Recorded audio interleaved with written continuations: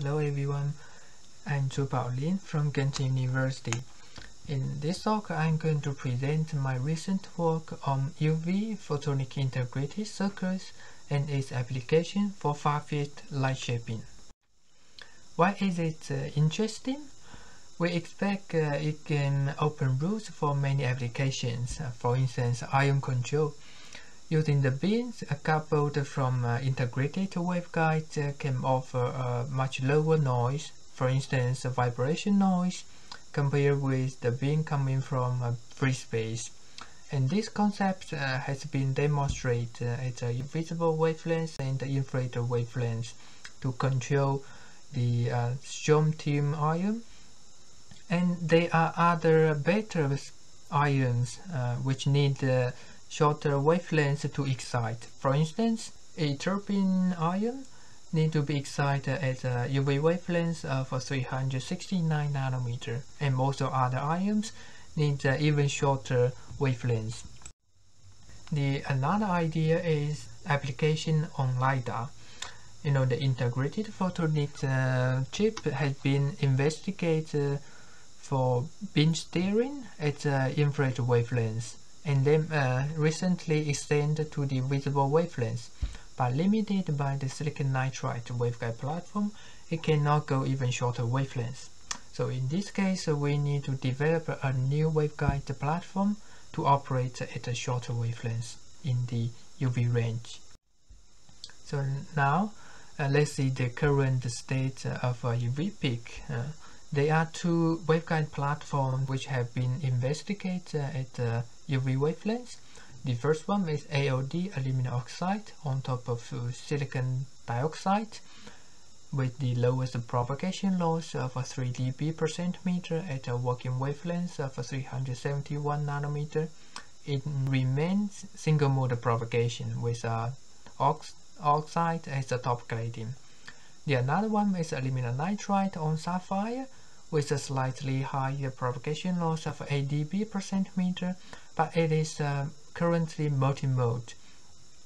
Besides, uh, there are other potential platforms based on uh, high bandgap materials, but they are currently investigated at visible wavelengths or infrared wavelengths. Why it is so difficult to process or to develop a UV PIC and shaping light at UV wavelengths? For one thing, we need to process a low loss and a single mode of integrated waveguide. You know, most of the waveguide layer, so, uh, for instance, silicon nitride in the silicon shows strong absorption at UV wavelengths, and the scattering loss will be stronger at shorter wavelengths, since the Rayleigh scattering is inversely proportional to lambda 4. For the another, we need to properly design the uh, high performance gratings to uh, generate either a homogeneous beam over large of width or we can, we can target a beam with a strong focusing and a high optical density. In both cases, uh, the high coupling efficiency are desired to minimize the insertion loss of the grating.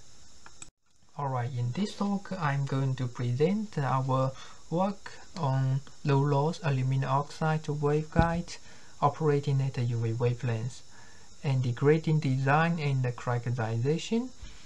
Finally, uh, we will design a simple photonic chip and to to combine the grating devices and generate far-field structure illumination. To process the waveguide uh, and operate uh, at UV wavelength, we firstly groom a layer of aluminum oxide by atomic layer deposition, and the layer is patterned by the e-beam lithography to finally get a strip waveguide with an air top cladding on top of silicon dioxide. On the right, we can see the UV light with a wavelength of 360 nanometer is coupled into the spiral waveguide and it can propagate uh, through a long distance with a total length of 2.3 centimeter. And we ex extract the, the intensity from the scattered light uh, from the spiral waveguide. And then we do the linear fitting between the log intensity and the waveguide length to estimate the propagation loss for the waveguide. On the right we can see the relationship between the propagation loss and the waveguide width. After optimization we can get the uh, low loss of 3 dB per centimeter and it remains a single mode uh, propagation at a waveguide width of uh, 800 nanometer. After achieving such a nice waveguide, uh, we start to design uh, the grating in 2D simulation to avoid any uh, scattering loss at the input of aluminum oxide.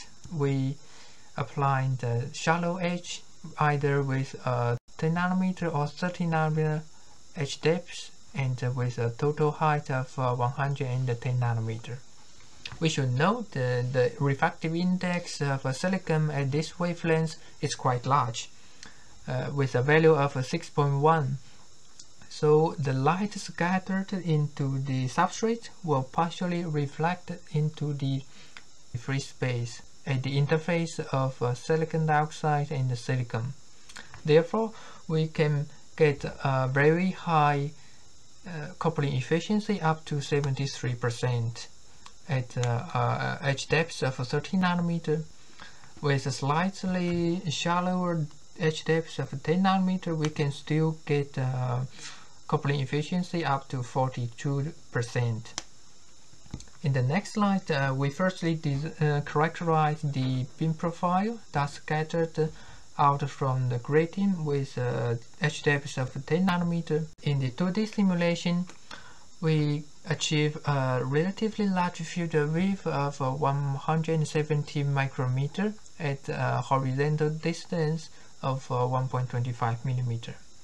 In the graph, we can see the beam width remains uh, the same more or less the same level of a long distance of a 3 millimeter. So actually we get uh, what we want, a, a beam with large field width and low divergence. So we fabricate the grating using the same parameter in simulation.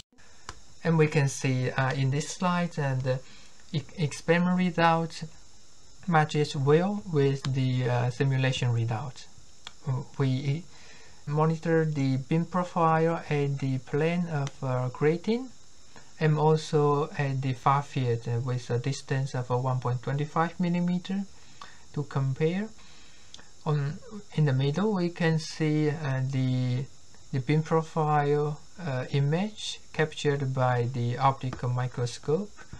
And we achieve a large field width of 200 micrometer by 150 micrometer. And in the experiment uh, we achieve uh, the maximum power uh, up to 0.4 milliwatt.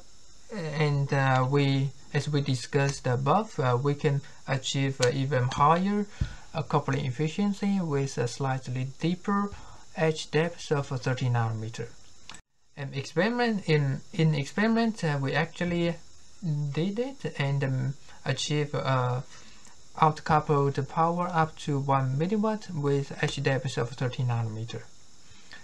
And the beam width is uh, slightly narrower, then uh, we, we get a stronger focusing.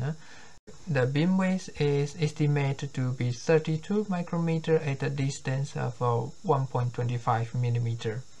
So with a deeper etch, we get a stronger coupling efficiency and also a narrower beam width.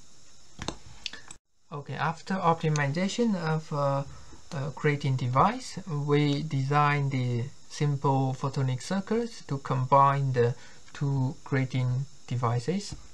As shown on the left, uh, the, the light will couple into the waveguide and split into two branches via a multimode uh, interferometer and scattered into the free space at the position where two beams come across, we can see a two-beam interference fringe pattern.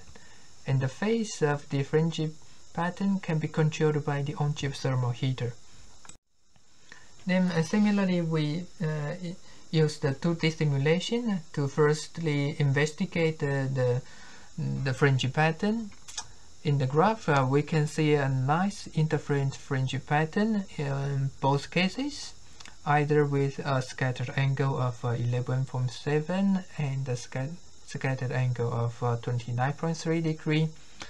Despite there is some intensity oscillation in the beam profile, we still get a very high visibility up to 0.97 and also uh, uh, 90, 90, 0.99 for the second case.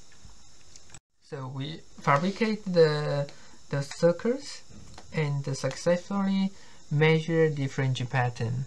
With a scattered angle of uh, 29 degree, we get uh, a nano fringe spacing of 371 nanometer and on the right we can see is uh, the, the cross-section of a fringe pattern. In experiment, the visibility uh, is up to 0.93 over a field width of 12 micrometer by 10 micrometer.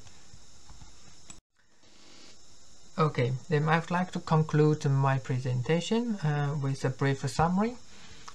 In this talk, I present a low loss of 3 dB per centimeter achieved on aluminum oxide waveguide operate uh, at a wavelength of 360 nanometer. And we achieve a high performance grating where, which can provide a beam with a large field of width of 200 micrometer by 150 micrometer. And then we design a photonic circuits uh, operate uh, at a UV wavelength to achieve a far field structure illumination with a very high visibility up to 0.93 and a small fringe spacing of uh, 371 nanometer. Yep, that's all. Thank you for your attention. And uh, any questions?